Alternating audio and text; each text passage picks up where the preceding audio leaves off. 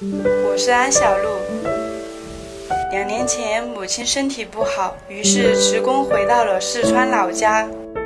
很多网友都说我家乡是仙境，但是谁又知道，这仙境其实也是困境。大山里有太多的艰难和不容易。那年，我因一段悲惨视频热门，我意外得到一些网友的关注。这样，我摸索着开始了我的短视频之路。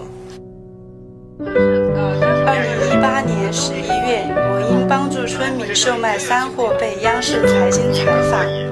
十二月，家乡山货滞销，于是我帮助村民把鹌鹑制成烟熏鹌鹑进行售卖。二零一九年，我代表村子去市里鹌鹑协会参观学习经验。为了让村民养的鹌鹑有更多的销路可能，我在市里寻找了很多的工厂。六月，一家工厂终于同意收购村民的鹌鹑，加工成方便美味的卤鹌鹑，帮小鹿解决村民的难处。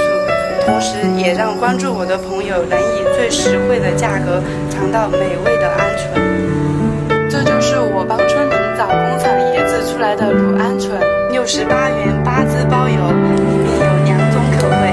配赠四包辣椒面，开袋即食，味道鲜香，秘制配方，营养健康。